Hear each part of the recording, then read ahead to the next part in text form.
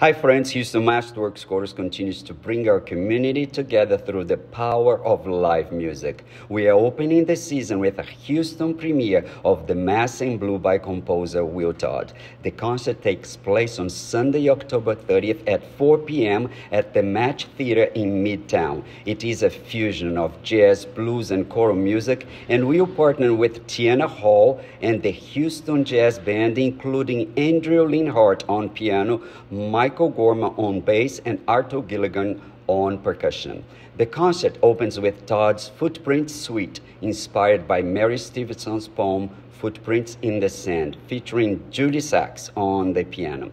The Mass in Blue, it's a modern choral masterworks composed in 2003 that opens with a fantastic piano solo with blues improvisations. A jazz trio follows and introduces the beautiful theme that is woven throughout. One of the brilliant moments in these masterworks is the unusual return of the credo at the end of the Agnus Dei, leading to an exhilarating conclusion of the entire Mass with the affirmation of the text, I believe please visit houstonmasterworks.org for more information. And thank you for making it possible for us to bring the words classical to Houston. We'll see you at the concert. Bye bye.